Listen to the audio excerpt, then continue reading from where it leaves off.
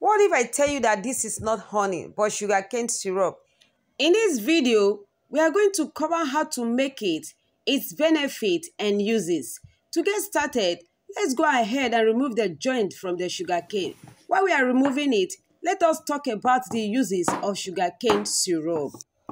Sugarcane syrup has a versatile uses in both culinary and non-culinary application.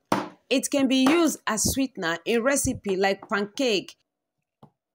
It can be added to cake, cookies and other baking recipe as sweeteners.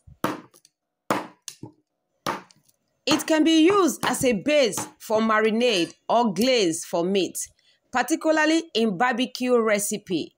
It can be mixed into beverages like cocktail, teas and lemonade to enhance sweetness. It can be incorporated into salad dressing for touch of sweetness and depth. It can be poured over pancake, French toast or yogurt for added flavor.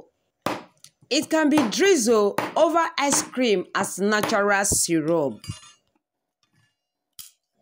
After separating the joints from the sugar cane, it is now time for me to begin to peel them. As we are peeling them, let's talk about the health benefits of sugarcane syrup. Sugarcane syrup offers some potential health benefits. It contains various nutrients, including iron, magnesium, potassium, and antioxidants. It has a low glycemic index compared to refined sugar. It is beneficial for those managing blood sugar level.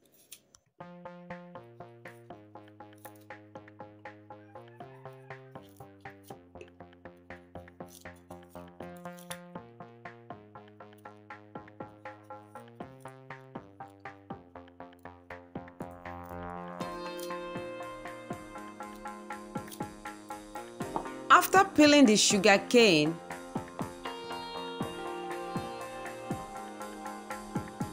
I'll be cutting them into bits.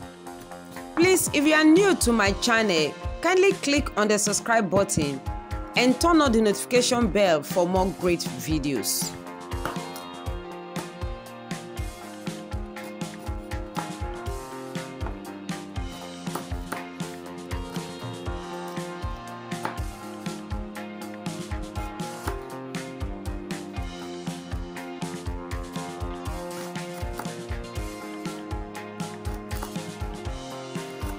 After cutting them into bits, it is time for me to begin to blend the sugar cane. I will add some to my blender and I'll be blending it without water.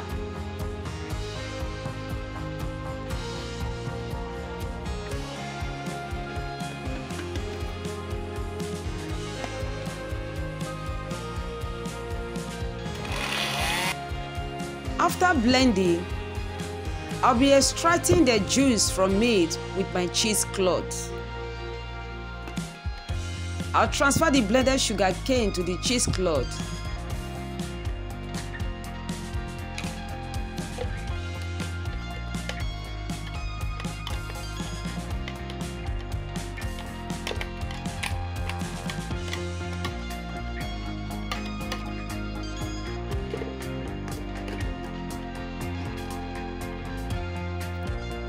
And begin to squeeze out the juice from the sugar cane. And I'll be doing it until the juice is totally out from the sugar cane.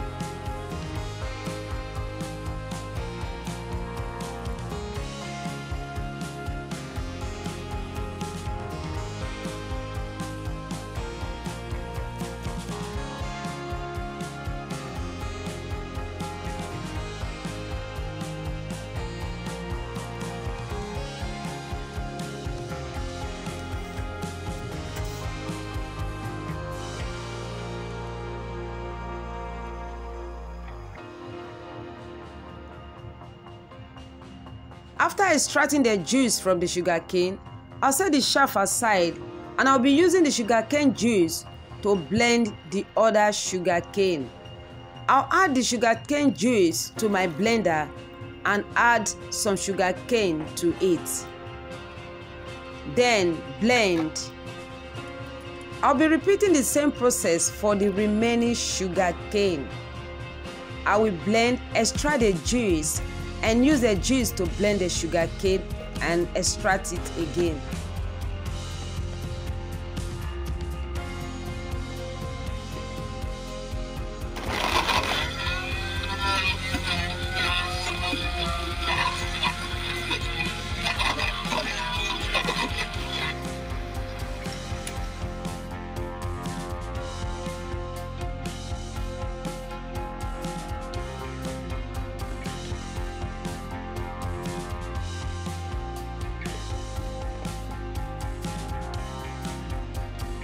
You can see that we are getting more juice from our sugar cane.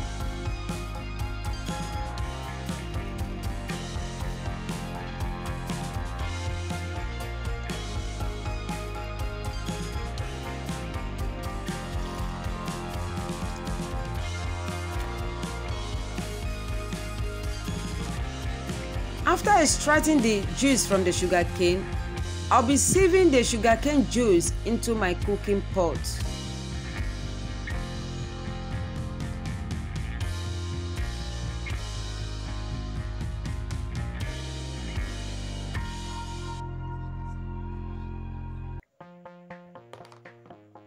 Then I'll be transferring it to the heat. I'll be doing the cooking of this sugarcane syrup on a medium heat.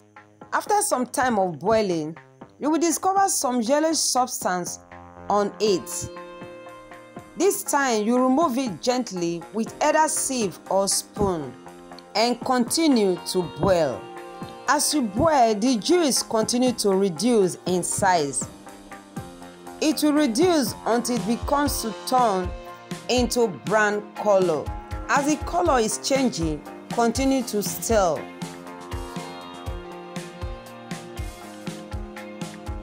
We'll stir until sugarcane syrup is properly formed. Now you can see that the extracted juice has turned into syrup. The next thing I will do is to turn off the heat and continue to stir for some time. Now our sugarcane syrup is ready. You can now use it for whatever recipe you want to use it for. You can see the consistency of my sugarcane syrup. I will just go ahead and transfer my sugarcane syrup into an airtight container. Please, if you find value in this video, kindly click on the like button, share with your friends and comment.